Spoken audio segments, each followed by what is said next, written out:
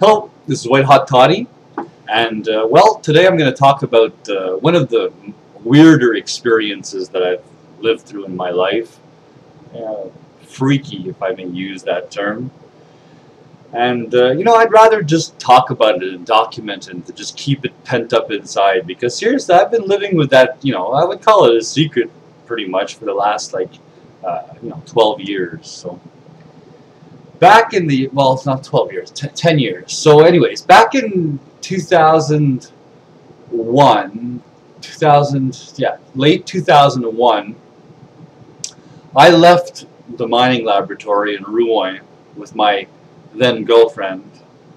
And um, we crossed Canada with my, my best friend, Louis.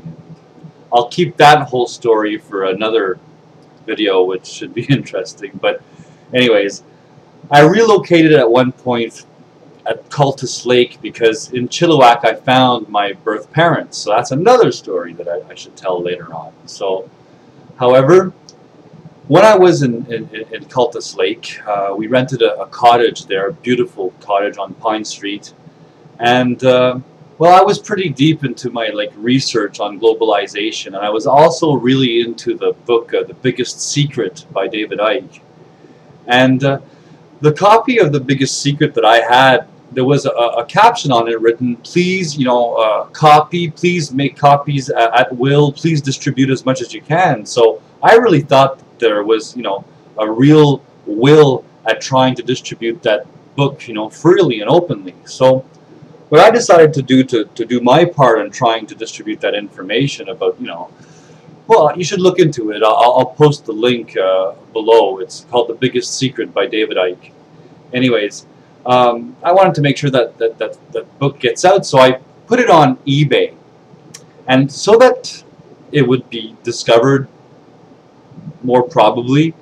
I uh, actually cross-marketed it with other items that were, you know, reptilian-orientated, like a uh, dinosaur uh, CD rack or things like that that would attract reptilian lovers or, you know, um, you know, I want more people to see it than not, let's put it this way. So, so uh, I have this... Um, so I, I, put this CD of, of The Biggest Secret on the internet, and I put it for sale at like one cent, and I just let people bid. And on average, they, would sell about five bucks, which would probably, you know, cover for shipping, you know. So I wasn't looking to really make money with that. However, I received a warning from the publisher, David Icke's publisher. It was Royal Adams.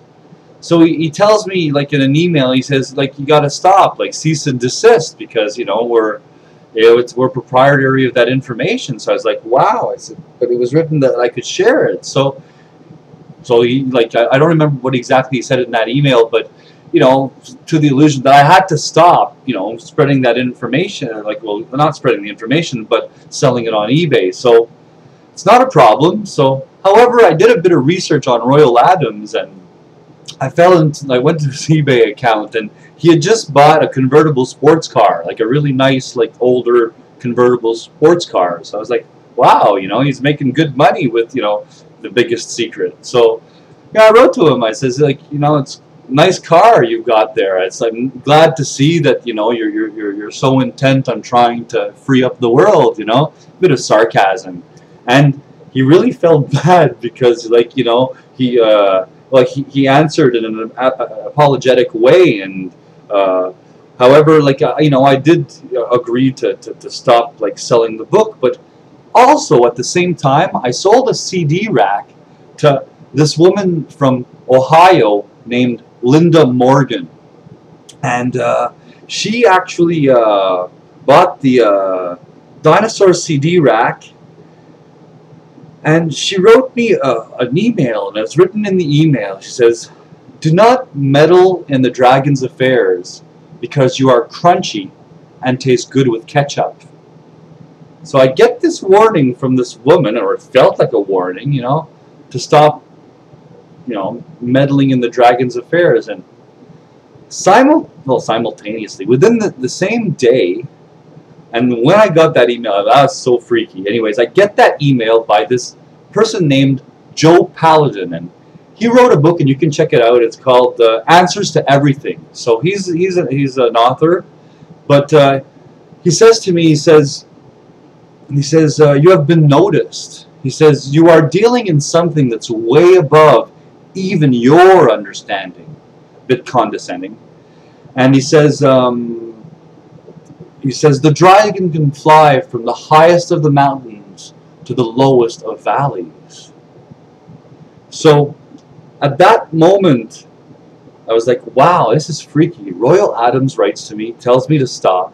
Linda Morgan, well, Morgan, that's a pretty, like, you know, bloodline name, elite name. Well, she tells me to stop, not meddle in Dragon's affairs. And then we got Joe Paladin coming around and warning me, you know. So, anyways, I used I used Linda Morgan's email address, and I did some some back uh, some back research, and I fell upon this website where you've got all these people sharing just freaky information, like seriously, like, talking about you know it's not easy being green, or you know uh, I love the face, but I don't like the ears or anything crunchy and things like that, and it's like wow what am I, what I just fall upon? And, and also, oh, yeah, when I fell to that website, there was like a phishing program that sort of like tried to latch onto my computer. And, well, I really got scared on that one. I, I was like, whoo, this is, this is freaky. Who are these people, you know? So uh, I, I pulled out and within about the same hour, suddenly in the tree, like next to my, to my office, is like hundreds of crows that just like gathered in the trees and and started like you know crowing all all simultaneously. And seriously I was pretty creeped out. I have to admit that if they were trying to scare me uh, if there's once in my life where I had like this you know feeling of fear it was at that moment you know? But I got to overcome it over the years. But anyways so uh, you know I told this story to a lot a lot of people but I just thought that you know I told it to enough people that now I could tell it on YouTube and, and, and, and you know, and get away with it. So we'll see if I do, you know. And, uh, well, um, I love you all. Uh, thanks for listening and have a really good day. Bye-bye.